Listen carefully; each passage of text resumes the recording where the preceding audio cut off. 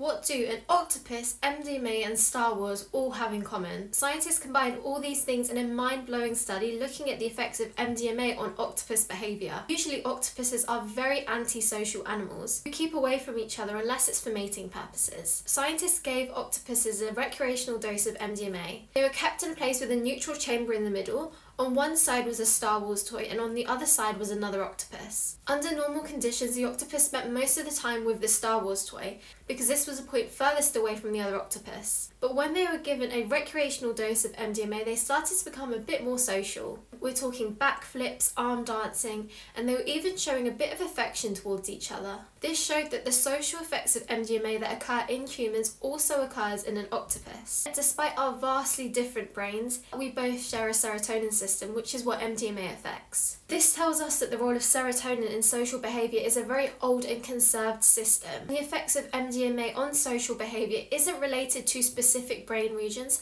but occurs at a molecular level. If this is interesting and you want to learn more about psychedelic research and the latest things in the field, make sure you follow us.